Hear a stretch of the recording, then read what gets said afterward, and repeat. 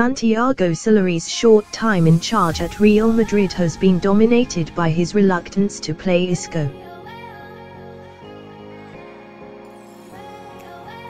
The Spanish playmaker flourished at times under Zinedine Zidane and was a big favourite of Julen Lopetegui's however, Solari would seemingly rather play anyone than the former Valencia and Malaga midfielder. In the midst of an injury crisis prior to the 2-1 win away at Real Betis on the weekend, Solari didn't even bring Isco off the bench.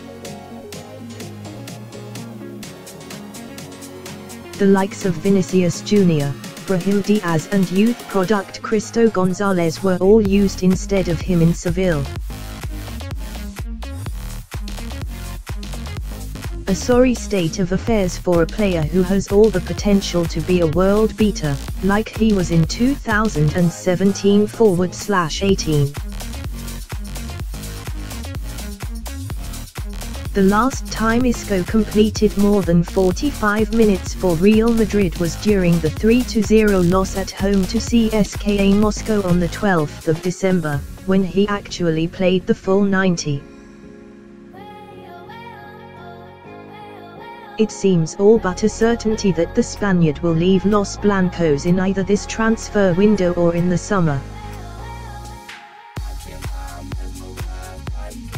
The reaction from former players on the Isco situation has been rather mixed, but former Real man Rafael van der Vaart is certainly not an advocate of Solari's decision. In an interview with Marca, the Dutchman made his feelings very clear and may have got a tad carried away at the same time. Van der Vaart said, It's crazy for me, he, Isco, is the best player in the world.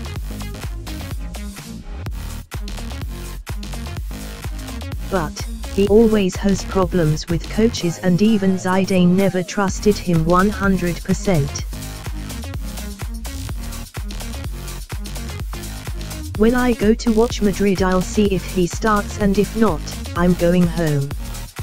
Best player in the world.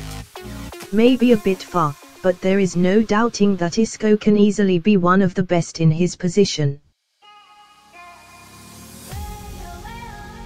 Whoever opts to take a risk on him will be getting a player capable of striking fear into any defender in world football.